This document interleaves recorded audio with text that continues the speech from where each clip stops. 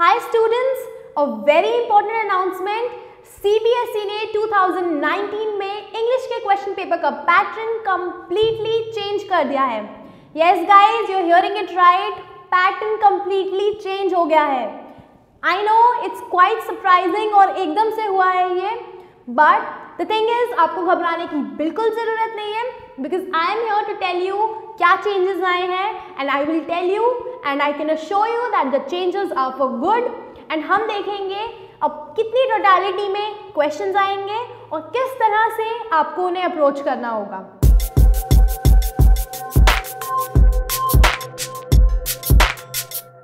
सो so guys अगर begin करते हैं चेंजेस के बारे में तो सबसे अच्छी चीज़ ये हुई है कि आपके जो नंबर ऑफ़ क्वेश्चंस हैं दैट हैव डिक्रीज्ड पहले आपके जो क्वेश्चंस थे दे वो 40 टू 45 क्वेश्चंस बट नाउ अब के अकॉर्डिंगली जो पैटर्न नया आया है they will be 35 questions so बहुत ज़्यादा टाइम होगा आपके पास। Just you need to know कैसे उसको एलोकेट करना है। सेकेंड थिंग गाइज़ ये है कि आपके पास चॉइसेस अब बढ़ गई हैं हर क्वेश्चन में। चाहे वो रीडिंग का हो, चाहे वो राइटिंग स्किल्स का हो। सो so गाइज़ अगर आप ये पेपर को ढंग से जान लेते हो तो 95 मार्क्स आपके कहीं भी नहीं जाने वाले। ऑल्सो थर्ड थिंग इज़ कि जो आपके एम थे, जो सिक्स मार्क्स के आते थे, अब वो फाइव मार्क्स के आने वाले हैं। और एक सबसे अच्छी न्यूज़ जो सारे बच्चे आई नो चाहते थे सीबीएसई e ने कर दिया है इस टाइम पे आई नो सभी परेशान होते थे, यार, कितने सारे हमें रीडिंग पैसेजेस करने हैं। बट गेस व्हाट गाइस अब रीडिंग पैसेजेस थ्री से टू हो चुके हैं। यानी कि अब दो रीडिंग पैसेजेस आएँगे, जिसमें से एक से आपको क्वेश्चन आंसर्स करने होंगे एंड दूसरे से आपको नोट मेकिंग करनी होगी। So what I suggest is आप उस सेकेंड नोट मेकिंग वाले को एज अ राइटिंग स्किल्स लीजिएगा एंड नॉट एज समथिंग एक अनसीन पैसेज के फॉर्म में। अब देख लेते हैं कि इन टोटल आपको क्या करना है, कितने क्वेश्चन अटेंड करने हैं। But before that there is a very special tip for you guys क्योंकि सीबीएसई ने ये पूरा चेंज इसीलिए लेकर आया है ताकि वो आपकी जो राइटिंग स्किल्स हैं जो आपकी रीडिंग है और जो आपकी कॉम्प्रीहेंशन की कैपेबिलिटी है उस पर ध्यान दें। सो so, आपको ये बात ध्यान रखनी है कि अब जो क्वेश्चन आंसर्स आने वाले हैं वो टू मार्क्स थ्री मार्क्स नहीं होंगे। They will be of six marks so the quality of your answer matters now तो सबसे ज़्यादा ध्यान आपको देना है for the long answer question क्योंकि they are going to fetch you the maximum marks and this is what the C B S E is also rooting for so beginning with your reading section जिसमें include होती हैं आपकी novels plus आपकी दो books so guys firstly आपको पता ही है कि 12 नंबर का क्वेश्चन आता है फॉर नॉवल जिसमें दो क्वेश्चन आपको करने हैं। That will be of six six marks I know दो नॉवल्स हैं इनविजिबल मैन और साइलस मानो but you know what the good point is कि अब आपके पास चार क्वेश्चंस होंगे। आपको करने सिर्फ़ दो हैं। नेक्स्ट हम आते हैं अपनी बुक्स पे that is Vistas and Flamingo अब विस्तास एंड फ्लेमिंगो में भी अब आपके पास थ्री चॉइसेस हैं क्वेश्चन की, जिसमें से आपको सिर्फ़ एक करना होगा।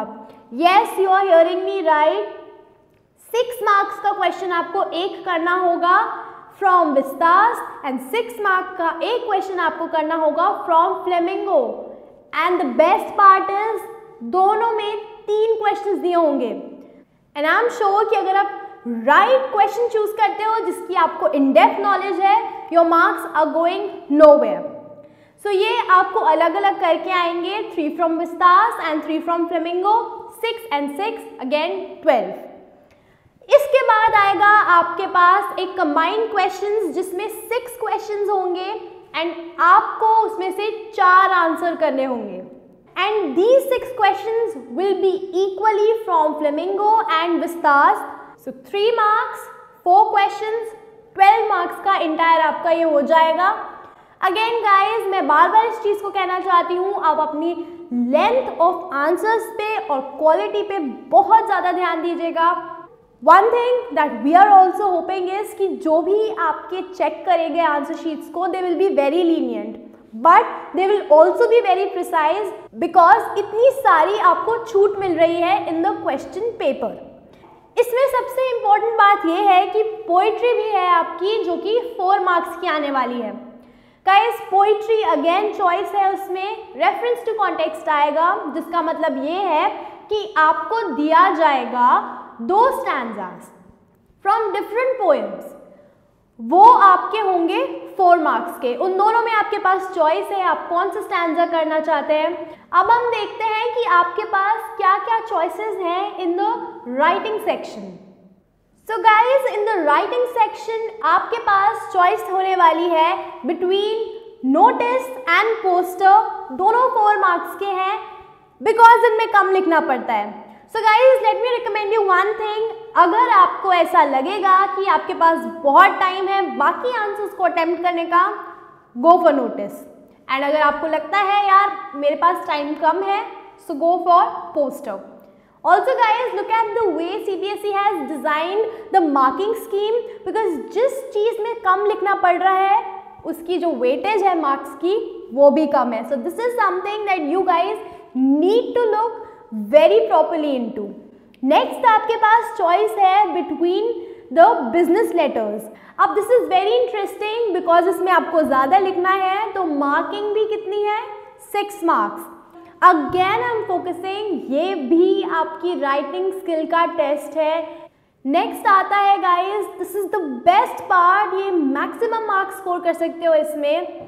Between a speech and a debate and the best part is कि इन दोनों में कोई फॉर्मेट ही नहीं है. Right so you need to keep in mind कि ठीक है, अगर मैं स्पीच अच्छी लिख सकता हूँ तो go for it and if you think अगर आप डिबेट अच्छी कर सकते हो, लिख सकते हो so frame a debate but that will be of ten marks so choose wisely choose according to your time because ये जो पूरा नया पैटर्न आया है, इसने जो टाइम डिस्ट्रीब्यूशन था ना, हर एक क्वेश्चन का, वो अब चेंज कर दिया है. सो थिंक वाइजली आप क्वेश्चन पेपर देखोगे that is why I am telling you beforehand कि ये सारे जो चेंजेस हैं they are definitely for your good but it is how you make use of it and last choice guys जो आपको मिल रही है that is between the report writing and article writing again ten marks का है. You can literally see कि CBSE का prime focus क्या है. They want you to write write and write ताकि आपकी राइटिंग स्किल्स अच्छी हो एंड ऑल्सो आपको इतने इलेबोरेटिव क्वेश्चंस दिए हैं ताकि आपकी जो समझने की या रीडिंग स्किल्स हैं वो शार्प हों। So that is why you can see the speech the debate the article the report ये दस दस नंबर के हैं।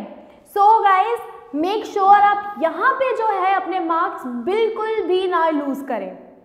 सो so, ये था एक पूरा तरीका ये क्वेश्चंस हैं ये चॉइसेस हैं जो आपको आने वाली हैं इन योर एग्जामिनेशन चेंजेस मैंने आपको बता दिए हैं। बिलीव मी ये आपके बेटरमेंट के लिए ही है because yes I definitely agree from the part कि अब आपके क्वेश्चंस कम हो गए so you have more time but इसमें कैच ये है कि वो टाइम आपको एलोकेट करना है to the quality of your answers mark my words quality बहुत ज़्यादा इंपॉर्टेंट है। अगर आपके आंसर्स की सिर्फ़ लेंथ देखी जाए तो उस अकॉर्डिंगली आपको मार्क्स नहीं मिलेंगे। What you have written will definitely fetch you marks so guys these were the changes अच्छी बात है कि थोड़े टाइम पहले प्री बोर्ड से पहले ही आपको पता चल गया। So prepare according to the new pattern क्योंकि this is very important also अगर आप अपडेटेड रहना चाहते हैं with the new videos and the new announcement and आप चाहते हैं कि सब कुछ जो आपको है नए पैटर्न के हिसाब से मिले, चाहे वो नोट्स हो, चाहे वो वीडियो लेक्चर्स हो so visit our website www.theextraclass.com and guys do share this video with your friends ताकि उन्हें भी पता चले क्या क्या चेंजेस आए हैं। ऑल्सो जब सब्सक्राइब करते हैं आप हमारे चैनल पे, जिसका नाम है the extra class make sure आप बेल आइकन हिट करें ताकि आप कोई भी लेटेस्ट वीडियो को मिस ना करें।